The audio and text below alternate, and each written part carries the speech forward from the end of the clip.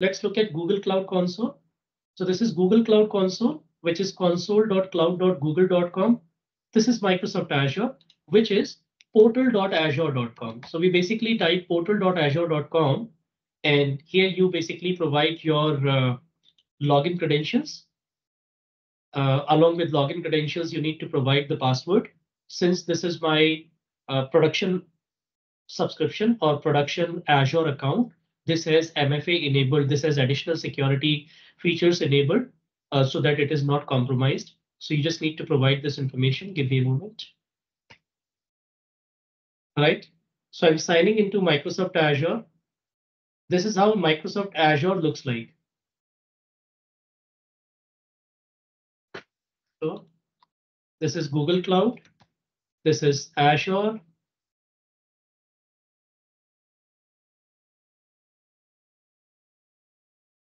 And let me open AWS also.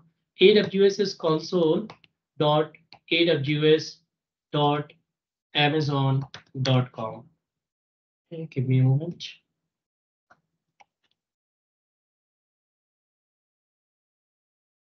So I'm logged into AWS also. Now here you can see this is Google Cloud Console. This is Microsoft Azure Cloud Portal, and this is AWS Console.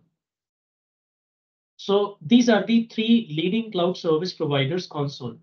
Throughout this training, I will keep, I'm saying whenever I start the training and throughout the training, I will have all the three cloud portal open.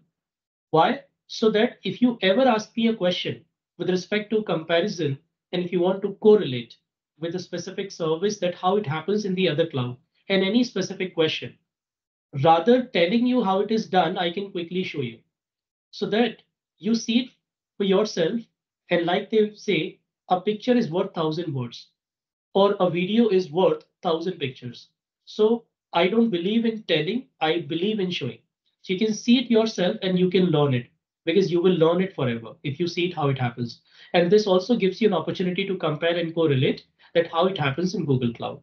So if you can also do the same, I would say this is just an this is just uh, I would say good for you. If you can also have other than Google Cloud, if you can also have an Azure free trial, an AWS free trial created along with Google Cloud today, and have all the portals open throughout this training session. By the end of this training session, you will have some knowledge of all the clouds. I'm repeating myself once again. You will have some knowledge of all the clouds. Never ever consider that you will learn everything in this training or you can learn everything within a year or two. Nobody is an expert.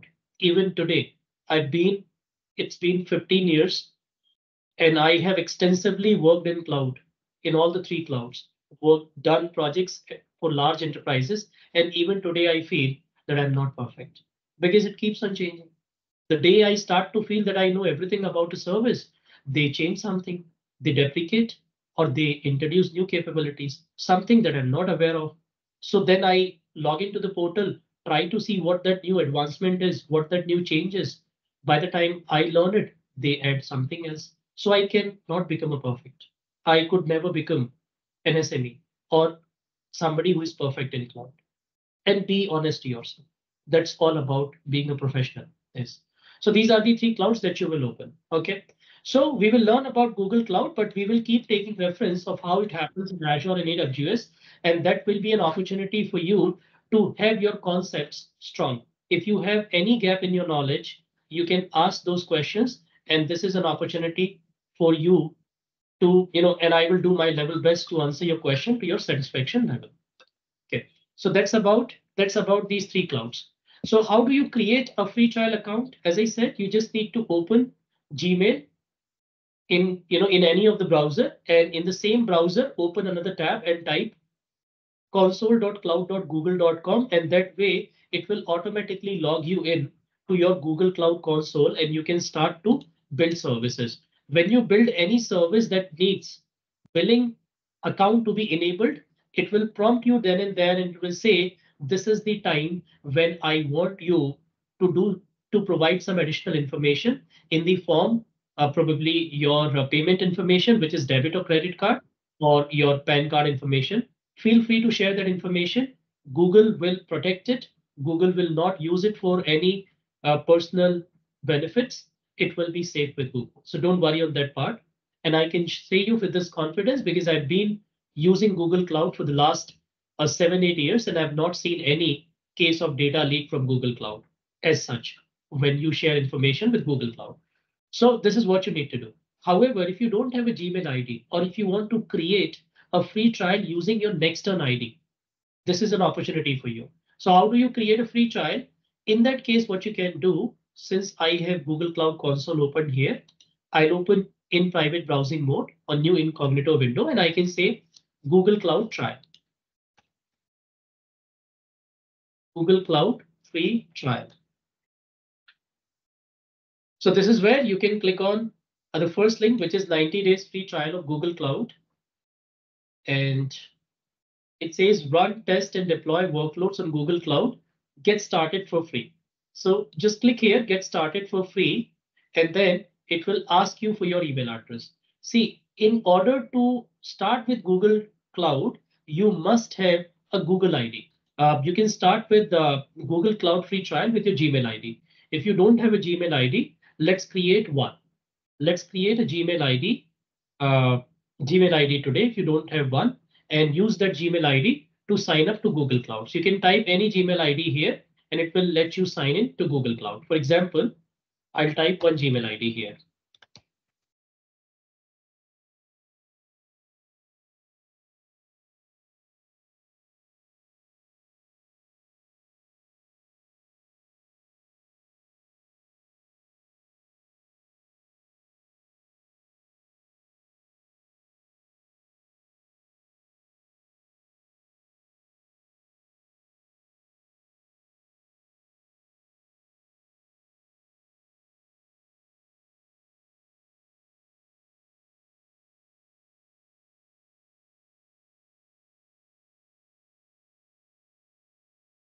Okay, so I'll type one Gmail ID here.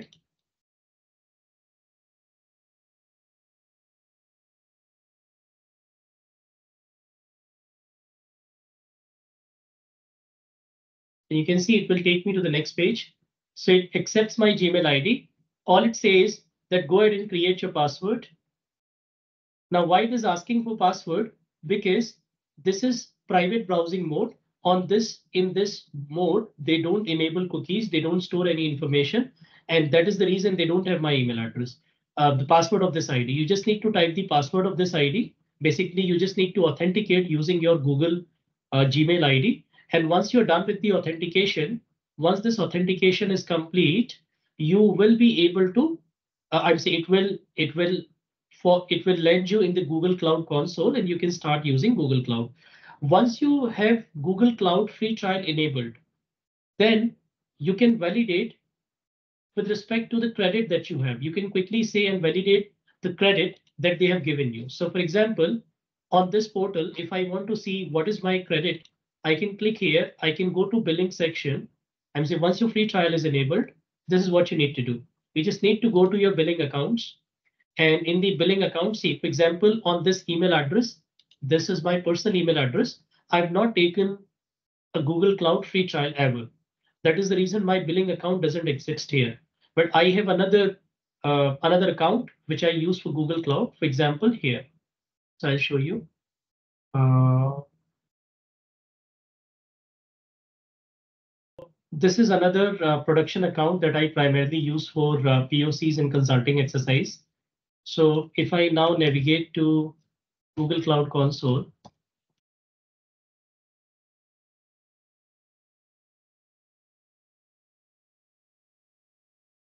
So once you log in, uh, once you're done with creating a free trial account in Google, this is what you need to do to validate whether your free trial is active. Uh, you can also see the credit which is uh, remaining in the free trial. So this is how you need to log in. You will you know, you will sign into a project. When you log into Google Cloud Console, it by default signs you in to either the first project or to the default project that you choose. So you will sign in, you will navigate to, you will click on these three horizontal lines, and then you will click on billing. In the billing console or in the billing dashboard, Let it first load. It is loading.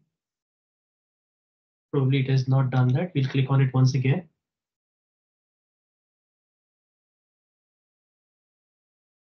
Okay. So this is the billing console. Over here in this billing console, there will be an option that will show you the free trial credits. So over here, you can see cost optimization. It says credits. So click on credits here, and here you will see the status that will tell you the status of your free trial credits. So for example, my free trial credits are expired. Why they expired? Because I started this account last year in January. So last year in January, I actually created, I actually signed up for free trial and that got expired on April 26, which is which is four months. Why four months? Because I did take it the I'm saying I, I was using my corp email address, the corporate email address. That's why I got it. So you can see here, I got a total of this was the uh, credit. Basically, if you convert it, this was the original value, 24,859, which is equivalent to $300 and then 8,286, which is equivalent to another $100. So you get $300 plus $100, a total of $400 worth of credit when you sign up using a corporate account, corporate email address. The domain must be listed with Google. So you cannot sign up using Nextern because probably the Nextern is not uh, you know added to Google uh, you know Google Cloud Identity yet.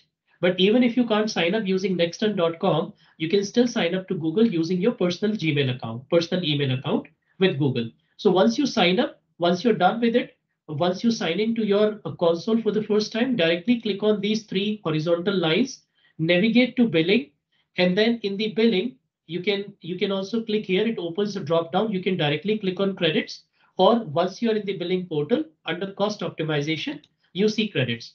So you just need to click here and it will show you the current status of it. And then I will tell you tomorrow, first thing in the first thing in the session, that how do you keep a track of your spend? So we will enable we will enable budgeting and alerting that will also get you an opportunity to learn another Google monitoring service that is part of this training. We will enable budgeting and alerting so that you will get notified whenever 10%, 20%, 50%, 80%, 100% of your credit expires, utilized. And you will also get alerts based on prediction. And that will help you to keep a track of your spend and take corrective actions as and when needed. If you feel that it is overspending, that you probably have created a service and you forgot to delete it, and that service is unnecessarily causing you billing all the time. So that is something that you will do that, that we will do first thing in the session tomorrow so that you will keep a good track of the spending. Because after this training is over, you will continue with this same free trial account to review, to revise, and to learn new services. That's the goal of creating this free trial account. Is everyone with me on this? And let me know if you have any questions so far. No. Okay, great. So this is this is what you need to do uh, today itself. Now let's understand the flow of the training. So the focus of this training will be we'll spend some time in Google Cloud fundamentals. This is what we are going to talk about. When I, when I say Google Cloud fundamentals, I'm not talking about cloud fundamentals. Cloud fundamentals you can learn from the URL that I've shared in the chat window. Cloud fundamentals remains the same. There is a dedicated session on cloud fundamentals, which is common to all the clouds. We'll focus on Google Cloud fundamentals. When I say Google Cloud fundamentals, I'm talking about history of Google Cloud. I'm talking about uh, the global infrastructure of Google Cloud, global infra of Google Cloud, I'm talking about the business benefits of Google Cloud.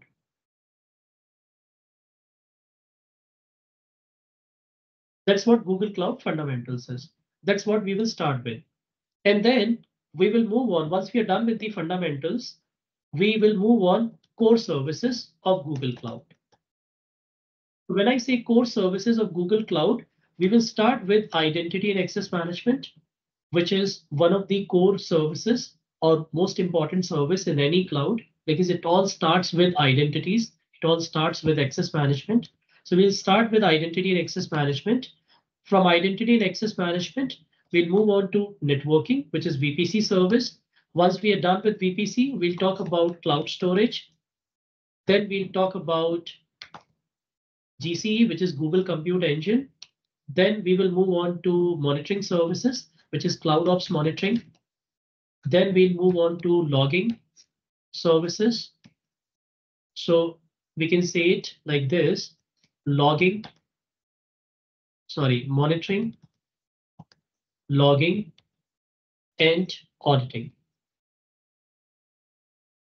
Once we are done with this, once we are done with these common services, compute, network, storage, logging, monitoring, auditing, we'll talk about security. Security, we will not get into the detail.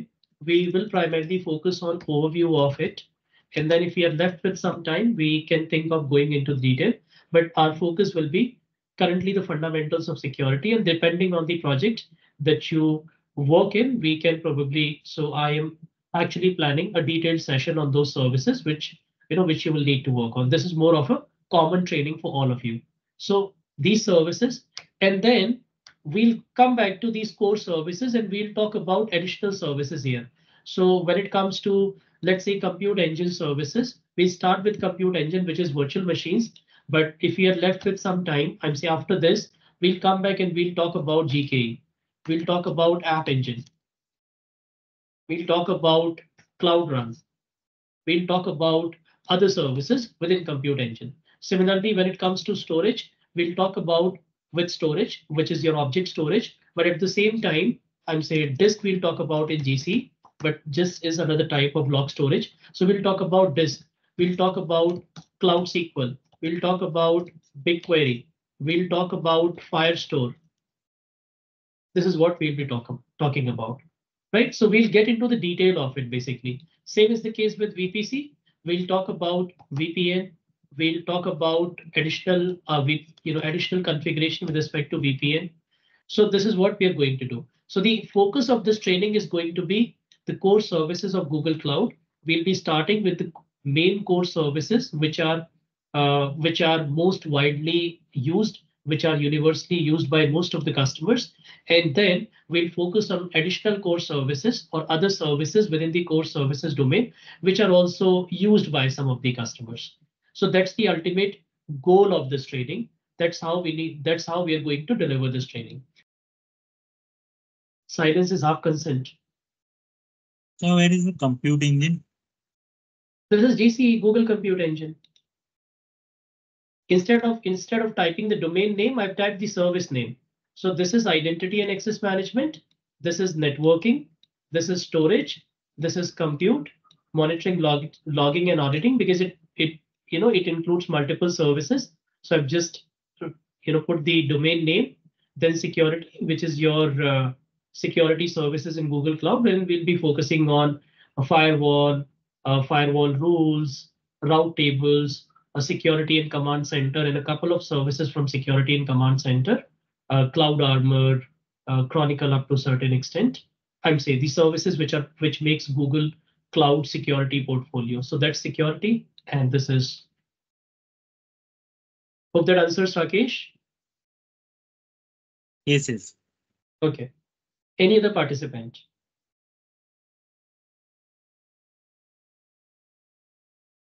All right, great. So if you don't have any other questions, we can close the session. Now, before we do that, do you have any questions on creating a free trial account? If you want, you can do it now while in the session. It hardly takes three to four minutes. And if you face any issue, you can at least discuss it today.